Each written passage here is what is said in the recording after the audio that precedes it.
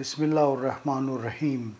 Flight Lieutenant Farhan Iqbal of the Pakistan Air Force saluted smartly standing ramrod straight in his commanding officer's room in the underground labyrinth of the airbase. He did not show his surprise and mild discomfiture at the presence of an unfamiliar officer sitting next to his boss. You botched it, Farhan, the CO said. Your task was simple. You had to locate and shoot down a slow, large Indian aircraft intruding into Pakistani airspace. You failed and the aircraft escaped. What is your excuse? Sir, I have submitted a detailed report. I know. I've read it. I want to hear it from you. Second by second, Flight Lieutenant Farhan Iqbal recounted his encounter of that morning.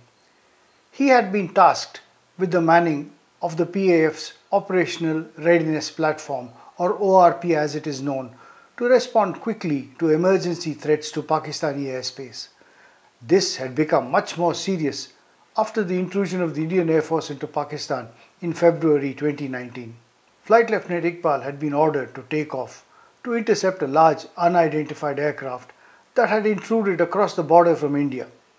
Taking off in minutes, he put his sleek supersonic F 16 Falcon fighter into a steep climb using the brute power of its afterburning engine.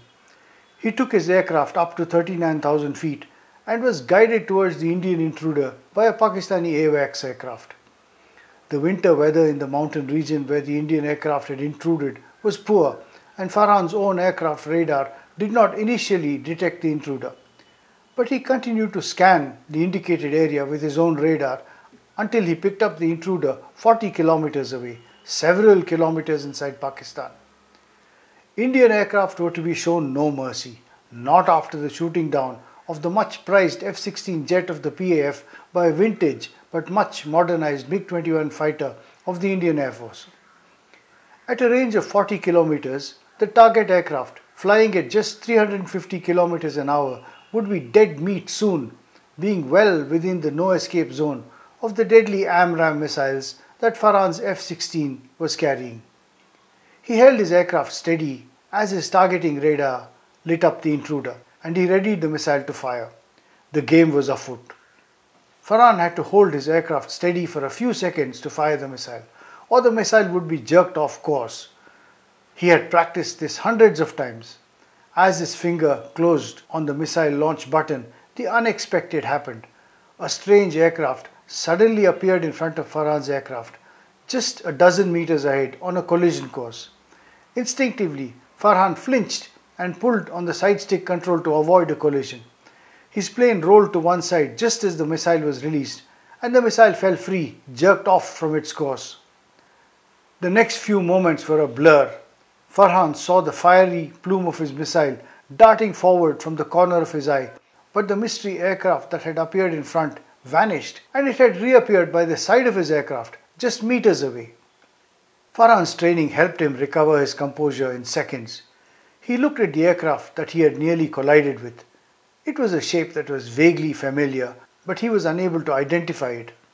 It was silver, bare metal, and appeared like a vintage rust bucket with the Indian Air Force roundels. Even in the stress of the moment, the tail number of the strange aircraft seared itself into Farhan's memory. It was IE 1079. But there was something strange about the aircraft that was flying dangerously close to his own aircraft. Then he saw it. There was no pilot. The cockpit was empty. It occurred to him that this could be an experimental unmanned aircraft of the Indian Air Force and wondered if it could be a trap. By now, he had lost track of the original target aircraft, but he now had another one and he would have to try and bring it down. Bogey at 2 o'clock, he announced, going for it. He slammed his throttle forward and turned his aircraft away to maneuver into a firing position to shoot this new target that was sticking to him like a leech.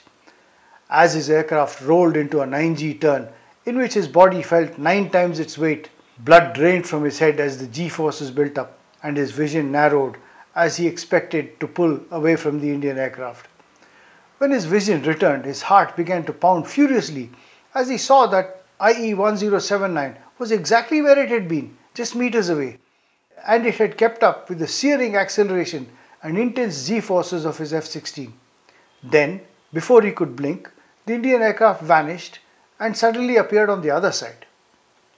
Farhan checked his oxygen supply in case lack of oxygen was making him hallucinate, but the flow was normal.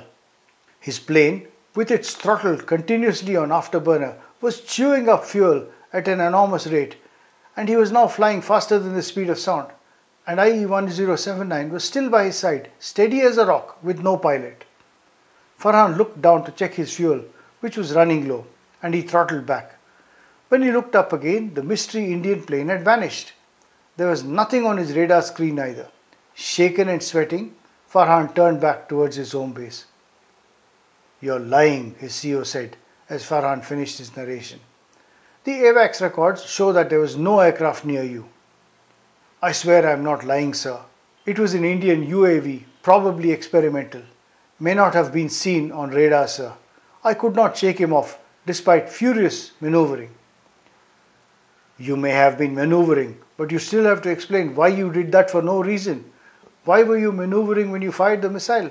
These questions need answers. You're being grounded. You will report to the PAF hospital for a full medical and a psychiatric assessment. On the same day in India, squadron leader Sharad Pandey, the pilot of an AN-32 transport aircraft of the IAF, had been tasked with dropping supplies for an Indian Army team close to the line of control with Pakistan. The men had been cut off by heavy snowfall. He had taken off from Srinagar and completed the drop. But as he climbed for the return trip, the weather closed in and he lost power in one engine. Unknowingly, his aircraft had entered Pakistani airspace and Sharad Pandey was lost in cloud with towering mountain tops on either side of his aircraft. As he struggled to navigate his crippled aircraft back, his radar warning receiver alerted him some Pakistani radar was looking at him with great interest. Shortly after that, his missile launch warning receiver blared, indicating that a missile had been fired. He reacted by launching chaff and flares to try and divert the missile, but braced for a missile hit. In this weather and over this terrain, a missile hit meant crashing in the mountains. But no missile came. Instead, the clouds parted suddenly and Sharad recognized the Sutlej River below and instantly knew where he was. Nursing his underpowered aircraft within valleys, he made his way back to Srinagar. He thanked his lucky stars for his escape from a simultaneous double threat of engine failure and missile attack. In the mess, he glanced at the wall and saw the familiar photo of his childhood hero, Flying Officer Nirmaljit Singh Sekhon, standing next to his Gnat aircraft. Something made Sharad aware of a curious coincidence. The date was the 14th of December 2021, exactly 50 years to the day since Flying Officer Sekhon had battled against four deadly Pakistani F-86 Sabre aircraft over the Srinagar skies, shooting down two of them before he lost his life, being shot down himself. Sekhon was the only pilot in the history of the Indian Air Force to have been awarded a Paramveer Chakra for his valor. As Sharad stood looking at Sekhon's young face in the photograph, the hair on his forearm stood on end and his neck and face tingled with goose flesh. The face in the photo had winked at him. Sharad rubbed his eyes and opened them again. His eyes fell on the tail of Flying Officer Sekhon's aircraft. The tail number was IE 1079, the same aircraft that had befuddled the PAF pilot earlier that day.